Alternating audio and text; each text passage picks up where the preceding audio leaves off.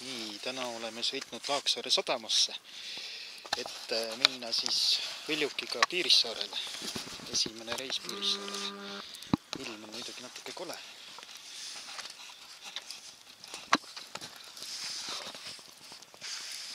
aga vaatame, mis meid ees ootab. Peipsi järv on päris korralikult jääs. noh, meie Võljuk on siis selline ja siit kuidagi üle kivide me lendame.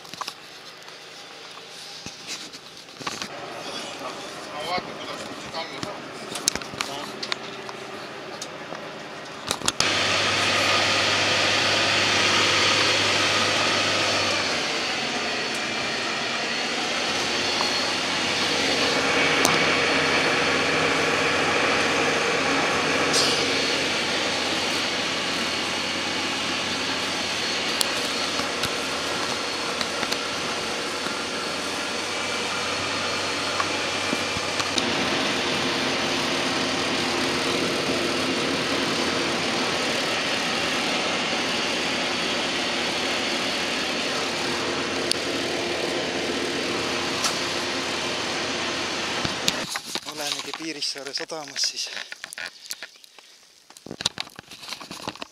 on isegi bensujaam paatidele ja vist ka autodele.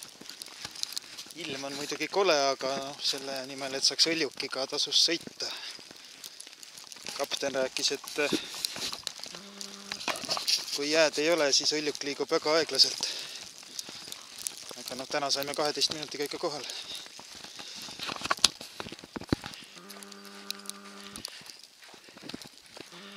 ja udu sees paistab Eesti piirivalvetorn. kapten ka helistas ju piirivalves, et mehi koormata jah. jah, et kaks inimest pardal.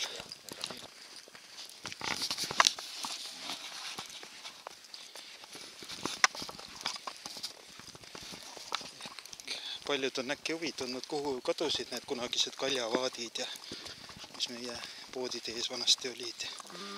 üks on siia jõudnud.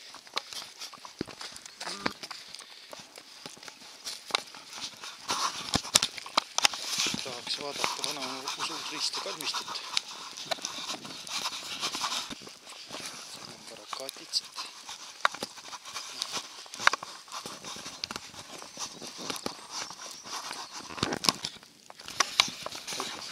siin on kolm surnuaeda. see on väga vana surnuaed, tuhat üheksasada viisteist. seal on üks kirik. seal on vist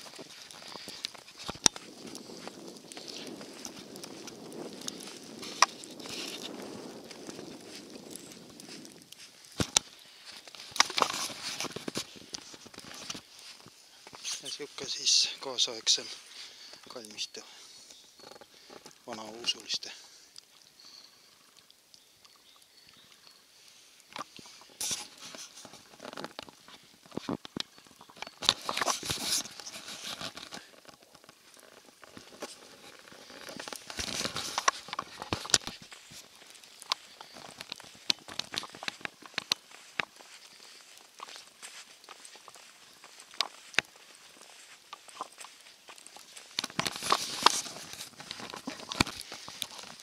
et jah, saar on valdavalt sihuke soine, aga nüüd läheb sihuke tee randa, mis pidi väga privaatne paik olema. vaatame rannaga üle, kuna seal on üks haare jälle. geocaching'u oma. ja ongi lõunatipu supluskoht.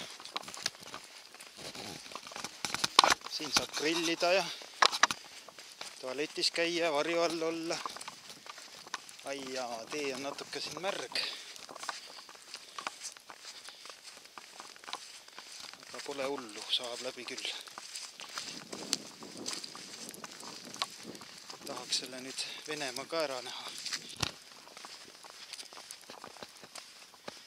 see nüüd seal teisel pool jääd on siis Venemaa. siin on punased piiripostid ka.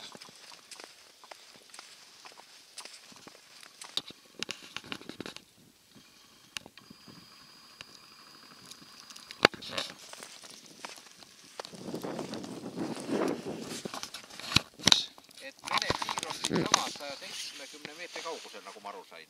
et kui ma nüüd läheksin siit noh jääst ja siit sinna et kas siis tuleb kohe niisugune suur äh, piirivalvesalk ja viib meid Venemaale või? viivad Venemaale, panevad ordeni rinda ja saadavad sõtta Ukrainas, Ukraina vastu. valgelane, näed, põgened ära sellest hirmsast Eesti Vabariigist. saad rea lint endale ja ilusana tagasi tuled, siis saad teise rea veel ja, ometi üks mõistlik inimene. aga sinel tuleb endal kaasa võtta või lähed puhvaikaga. ja ongi aeg tagasi minna, meie pooleteisttunnine reis Piirissaarel hakkab läbi saama, see müra, mis eespool kostab, see on meie hõljuk. tavaliselt on kuus inimest paadis, seekord saime kahekesi selle sõidu ära teha.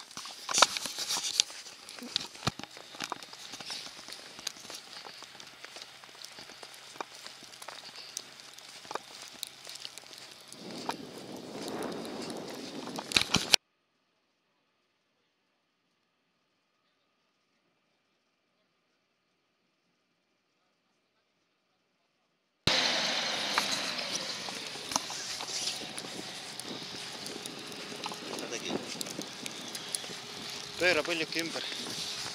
filmin natuke, kuidas ta liigub ka